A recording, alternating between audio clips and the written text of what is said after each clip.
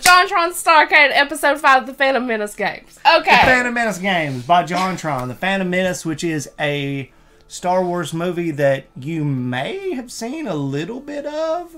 You said in the past that there's one of the prequels that you kind of saw back in the day, maybe a little bit. I don't know. This is uh, the one that I saw. It had um, Natalie Portman in it And Jar Jar Banks, and Jar Jar Banks. Yes. And they wore those little mouthpiece things, and I thought that was Yep. so cool. so you've seen a little bit of the Phantom Menace. It was very and young. that was one that got a whole, whole lot of shit. really, from Star Wars fans. Oh that. yeah, because you got to think for the longest time, Star Wars had been A New Hope, Empire Strikes Back, Return of the Jedi, and then like from the '80s on. yeah, like twenty Nothing. years of nothing. So then you know.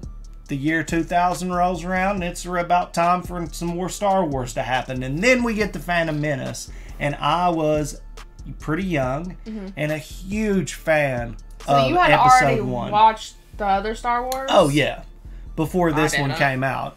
So, you know, I've sort of I, well, they re-released and digitally remastered the original three and released them in 1997, 98, like leading up to Star Wars Episode One. They re- redid and re-released all the older ones, and so I had watched them in theaters hyped as hell, excited for the Phantom Menace, and I know a lot of the fan base back then was like, "What the actual fuck Why? is Jar Jar Banks? Oh well, Jar Jar What- Binks. I know a lot of people don't like Jar Jar Binks. Yeah, and what I mean, they had huge problems with the Phantom Menace, but people that are my age usually are a huge fan of it Yeah. and don't have any problem with it uh, and think it's great. So. I'm excited to see this episode because it pulls at my nostalgic heartstrings. Yeah. This is John Star John John Starcade. JonTron Starcade episode 5 The Phantom Menace. Let's check it out. Okay.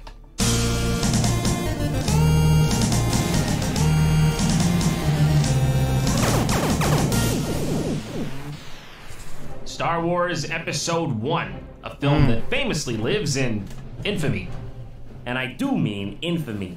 From Gungans to midichlorians, I think it's safe to say this movie spawned more social outrage than the burning of the Great Library of Alexandria. And that was real bad. All my favorite books got burned up in that. Like this coloring book, for example. Mustaches of the former Soviet Union. What? Comes with the crayon brown. Better not color outside the lines, or else Papa will have to go back to a concrete hole in the ground. when people were watching this film, they had to have been saying to themselves, I wish I could experience this for myself. I wish I could be there. Little did they know, their wish was already granted. Hell this yeah. is Star Wars Episode 1. Dude, I love Phantom this Menace game. For PS1. Okay. It's kind of rare to get a game like this. It's not some spin off, it's actually just Star Wars Episode 1 The Phantom Menace. And yeah, Yeah. it pretty much is just a scene by scene in the spirit of the movie, but obviously there are some deviations. First most glaring difference, of course, being the inclusion of wobbly, pixely chimp face. not that I have anything against that, it's just that you're all absolutely bone chillingly deformed. Mm-hmm. What is that gas coming out of the floor? It is excess steam from our troublesome ventilation system. Hmm, that's interesting, because it looks an awful lot like poison to me. I apologize for any discomfort. No, you don't, you son of a bitch. This game would have been fun had it not been for the vomit-inducing top-down angle that is at a slight Oh my tilt and way too God, close I to your hate it. character. I loved It's it. It's hard to tell where or what anything is, and if you do find out what to do, you'll still have the nausea to deal with.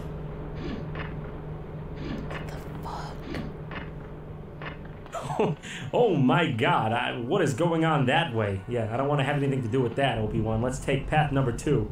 Holy shit! Yep. Obi-Wan, you gonna be alright, bro? You gonna be able to walk that one off? So this is canon then, yeah?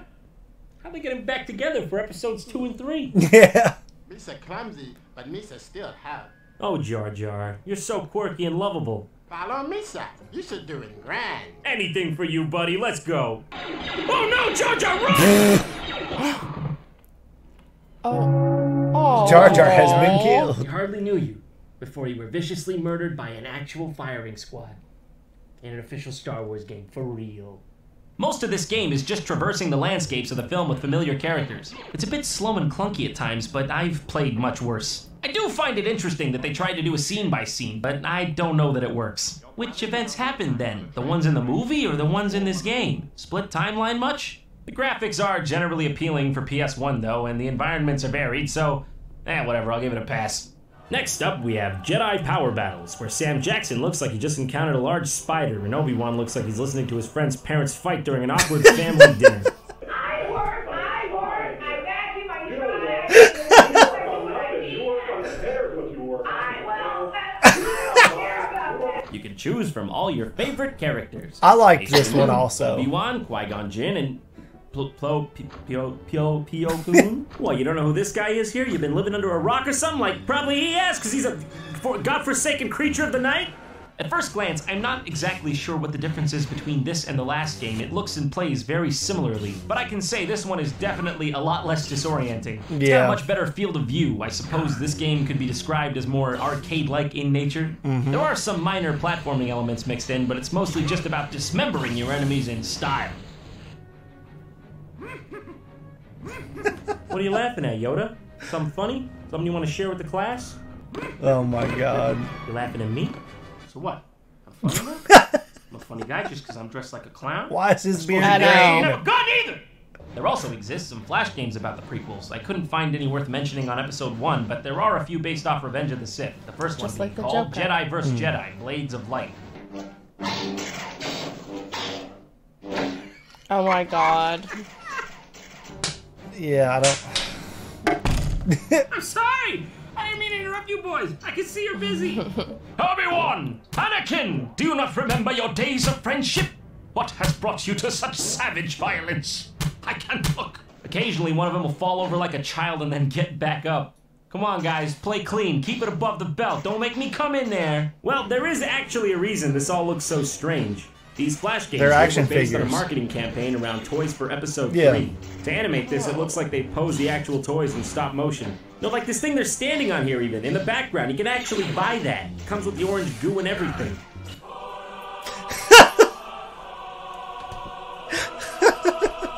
They got the big. While we're already looking at these weird Flash games, there's another one that ties in with the toys Revenge of the Sith Scene Bot. I think it's actually supposed to be called George Lucas Special Edition Simulator. Why make one movie when you can just keep adding to the same one forever? Just put just put that there. One here. More. More. It must be perfect. Never clean. Never clean. The past never happened. I'm in control of my life.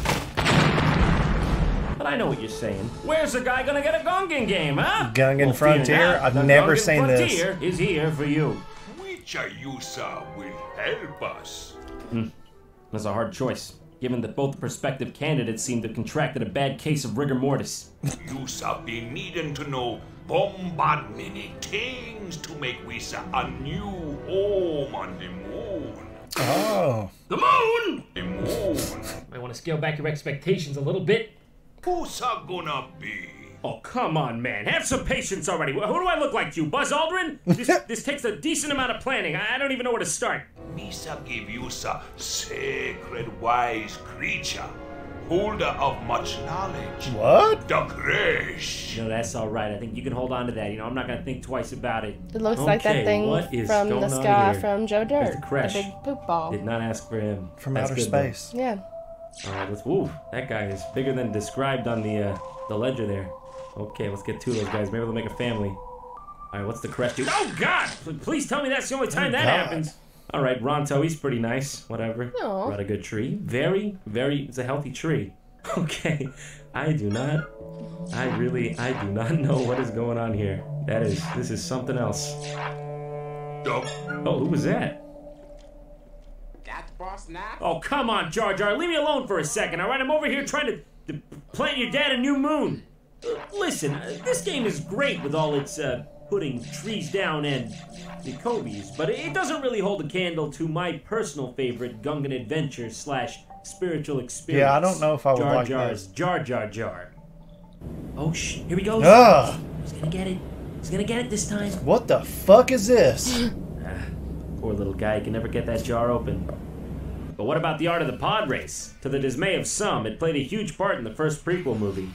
I always loved pod racing. In fact, I think of all the scenes in the prequel trilogy, Anakin's pod race against Sebulba is easily my favorite. Each pod racer is built uniquely for the character designated to it, so there's a very visceral sense of tension Hell and yeah. imminent danger that adds to the drama. At any moment, your favorite player could be torn to shreds. And that's really what we all want deep down, isn't it? Wow, No. I could do this all day. It's amazing.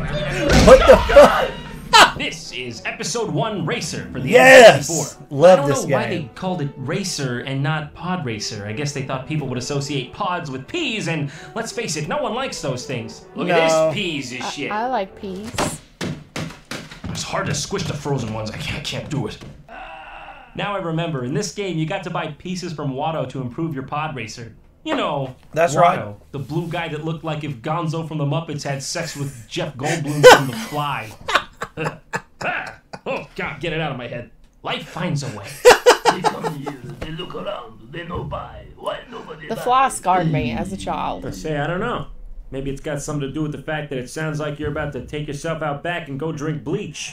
The feeling of speed they were able to accomplish here is impressive, given that it was N64. The Such a controls fun were tight game. too. It felt like an accurate recreation of a pod race, which I'm assuming is what they were going for. And not to mention, there were tons of awesome locations to race in and a multitude of racers to choose from. I think it's safe to say, I love this one. Oh, looks like Anakin won't be making it to episode two after all.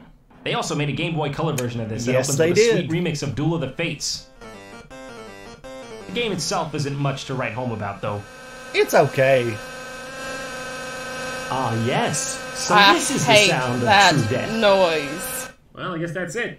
That's all of them. Tune in next time. Racer's Revenge.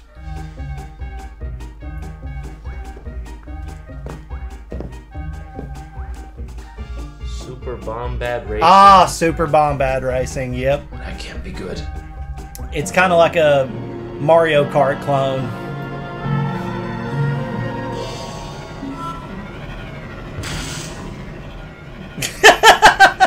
What is going on here? What's a Bombad? I don't know who was in charge of this, but they are clearly an unrecognized genius. You had like all the Star Wars lexicon, and you chose this? You went with bomb bad. Is that some sort of artistic thing you guys got going on here? Don't want to be too cliche? No, it's all good, really. You guys just keep doing you. No, but I can't move past this part because what's a bomb bad? Is it this thing Jar Jar's riding on? Is that a bomb bad? Well, no, actually, because that's what's known as a tri-bubble bongo. See, I've done my research. I took to the internet to see what a bombad could be, after all, and it turns out bombad may refer to the Gungan word for superb. So this game's Oh, title literally There go. translates to super superb racing. What can I say? That's pretty super superb in itself. Think away. Stop it, come on. Why are you looking at me like that? I, I thought it was an okay game. Mr. Boston will to see you again. This is very, very bad.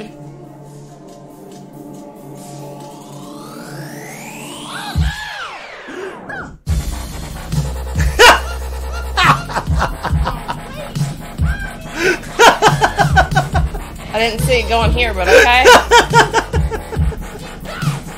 What did Mr. say?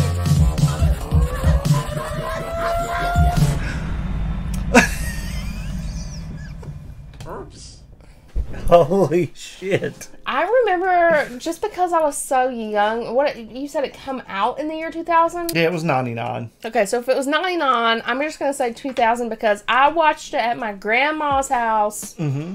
on VHS. Yes. So I'm gonna say maybe 2000, 2001, mm-hmm. maybe even. I don't even know. So I would have been like seven, maybe like mm-hmm. six or seven, somewhere in between there. Yeah.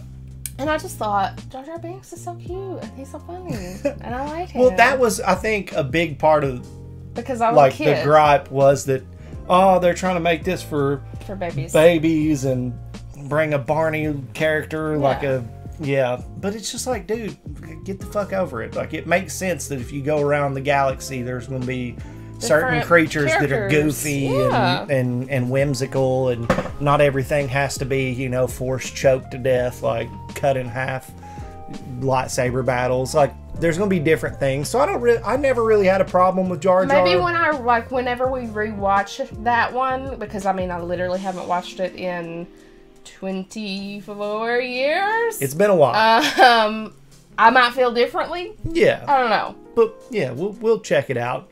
Um, but yeah, I I really enjoyed most of the games that are on this list. I did not play the one where you go to the moon to colonize it for the Gungans. I never played that Yeah. one, but all the rest of them I played, including Bombad Racing, and I thought that they were really fun. There's actually uh, uh, Star Wars Racer Revenge, I think is the name of it, and it's like a PlayStation 2 game where you do pod racing again.